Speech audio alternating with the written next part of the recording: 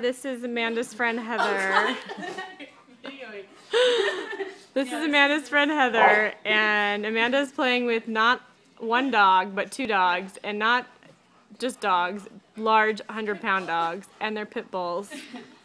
And she wanted a video, she wanted a picture. So here's a video of dear Amanda playing with, oh goodness. She said she's good.